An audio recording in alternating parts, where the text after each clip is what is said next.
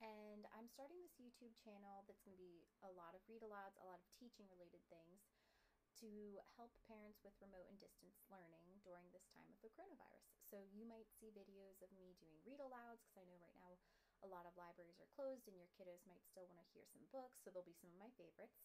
Um, there might be learning videos on here of different things to help your kids in class. So I'm going to do a read aloud today. So whenever I like to read, I like to curl up with one of my favorite stuffed animals. Boys and girls may recognize this.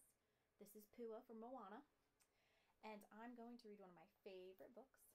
There's a bird on your head. Now you'll see when you're looking at it, all the words are backwards, but that's because of the camera, okay? And my children know that I love Mo Willems and Elephant and Piggie books. Okay, so there's a bird on your head by Mo Willems. Here's the title page.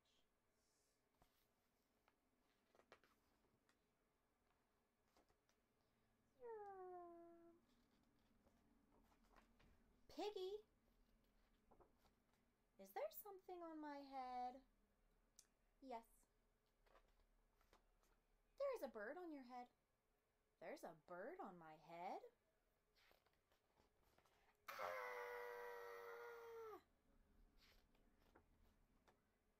There a bird on my head now?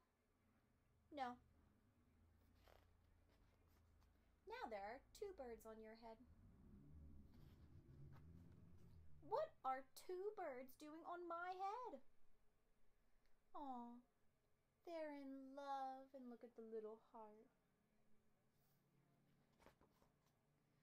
The birds on my head are in love. They are love birds. Love birds? How do you know they're love birds? They're making a nest. If I go in real close, you can see them making the nest. Two birds are making a nest on my head. Why would two birds make a nest on my head?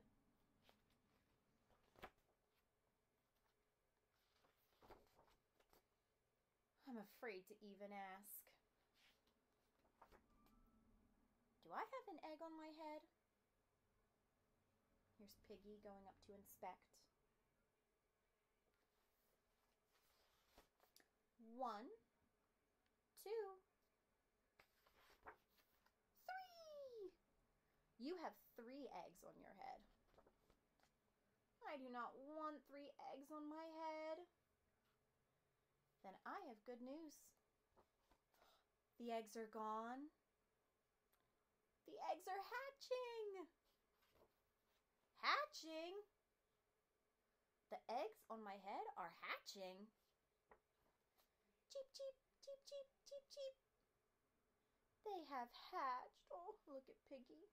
He's so happy. He's crying. Look at those little tears. And Gerald does not look like he's happy about the eggs hatching.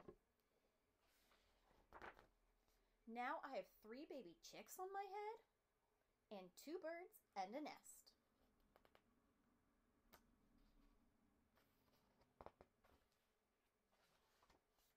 I do not want three baby chicks, two birds, and a nest on my head. Well, where do you want them? somewhere else. Why not ask them to go somewhere else? Ask them? Yeah, ask them. Okay, I'll try asking. Excuse me, birds. Will you please go somewhere else? No problem. Hey, it worked. Bye. Look how happy Gerald is now. now there are no birds on my head. Thank you, Piggie. Thank you very much.